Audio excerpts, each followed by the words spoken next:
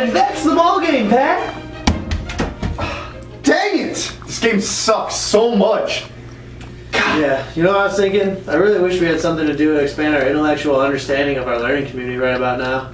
Man, you're absolutely right. You know what I've been thinking about a lot lately? What would Montaigne feel about Siraj's seven levels of virtue that we talked about in Islam? Dude, that's crazy, because I was thinking the same exact thing. No. Yeah, but Montaigne died like 400 years ago. Did you really? Yeah. Ah, screw it, man. I'm going to bed. Alright, man, I'll see you later. I'll see, I'll see you later. I'll, s- I'll, s- I'll, s- I'll see All you right, later. See ya.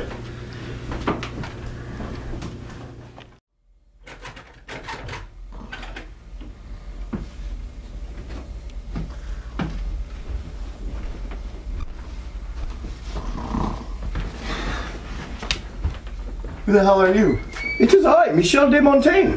I'm about to embark on a journey to explore the seven virtues of Sufi religion. Really? That's convenient. Can I come? Of course. You can even videotape it if you want. Okay, let's go. Right. Am I dreaming? Does it really matter?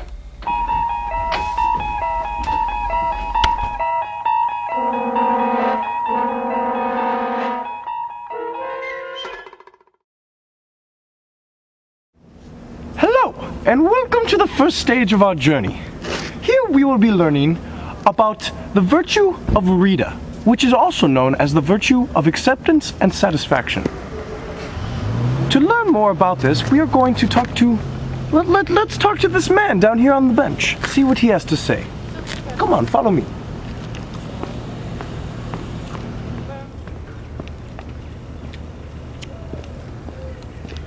Good afternoon, sir. What is your name?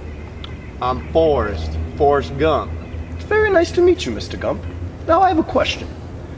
Do you know anything about the virtue of Rida that Siraj wrote about? I know a lot about that actually. Why don't you take a seat next to me and we can discuss this? Why, thank you, sir. My mama said life is like a box of chocolates. You never know what you're going to get.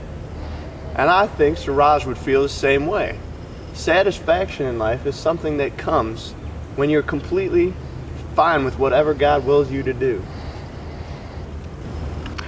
Well, Mr. Gump, that is very interesting of you to say. However, when I think about the idea of acceptance, I think of more in terms of death. See, there are too many people who fear the idea of death, and they put too much focus on it and don't put enough focus on their lives. See, what I would like to do is accept the fact that I am going to die. There is no way that I will not die.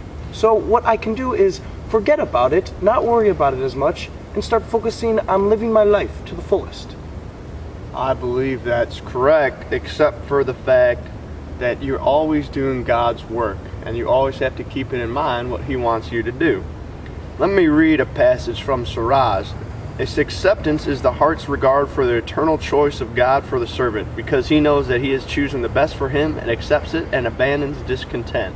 So I agree you have to abandon that discontent that you were alluding to earlier. But I would say you always have to keep God's will in mind. Mr. Gump, you are one knowledgeable person. I believe they should make a movie about you. Well, I think it's time for us to go on to our next stage of the journey. Mr. Gump, thank you so much. So long. Let's go!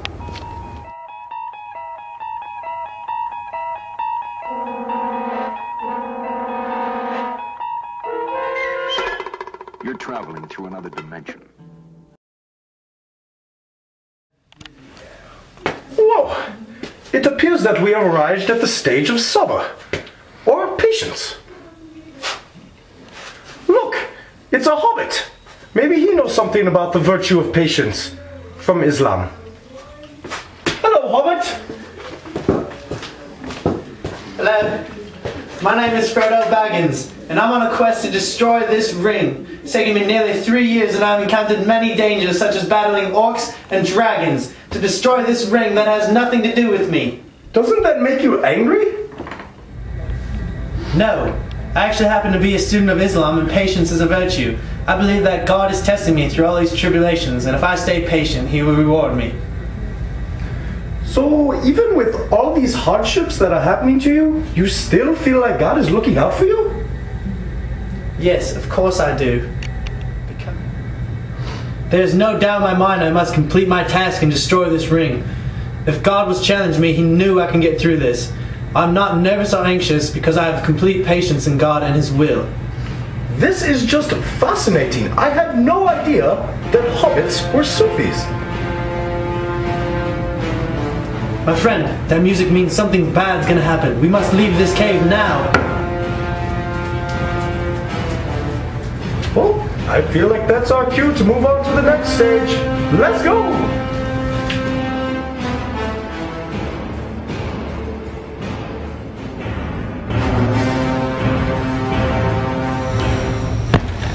Whoa! It seems that we have arrived at the final stage of Farka, or poverty. I hear this place is normally crawling with hobos. Oh, look! There's some now! Going there, hobos? Uh-oh. Why are you sleeping out here when it's so cold out? Being poor is a form of humility towards God. Mm-hmm. By living as a hobo, I have a closer connection with God. Live in a warm house? Sleep in a comfortable bed or even take a shower? At times I have, but then I remember poverty is the cloak of those who are noble. If I don't have anything, then I can't long for anything, and I'm always content. Think of the story of Rabia and how she slept on a cement block. You are a rich man, correct? Richer than you are. You should feel bad about that and then repent and become ascetic like me. I do not feel shamed about my wealth. I am satisfied with my life. There are very few times that I repent, because my conscience is content with myself. I am very happy with my good fortune.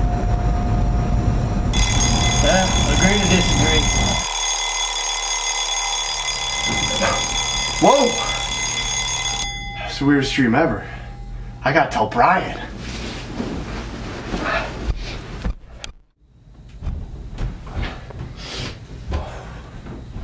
Man, I just had the weirdest dream. It's about Montaigne and uh, Islam. I just really feel like I get to class now, and why those two classes are connected. Wait, was Frodo Baggins and Forrest Gump in your dream? Yeah, they were both in it. I had the same exact dream. That's weird. Video games? Video games.